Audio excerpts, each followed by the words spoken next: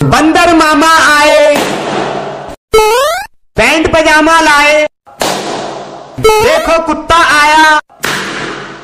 फिर बिल्ली आई। हाथी ने कहानी सुनाई। वीडियो अच्छी लगे तो लाइक